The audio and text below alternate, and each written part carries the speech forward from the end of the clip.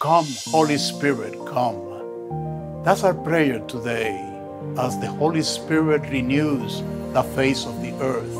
Pentecost, the coming of the Spirit as fire to the apostles and Mary, to renew the church, to bring the gospel to all places, to bring the name of Jesus, the Savior, to all situations, to all families and communities. Come, Holy Spirit, come with your gifts, come with your fruits, renew the face of the earth. To all of you on this magnificent birth of the church, the feast of Pentecost, the closure of the Easter season, the beginning of this great energy permeating the whole earth, the whole planet, the Spirit moving forward with the energy of Jesus, the risen Lord. Congratulations on this solemnity, the great solemnity of the Holy Spirit renewing the face of the earth.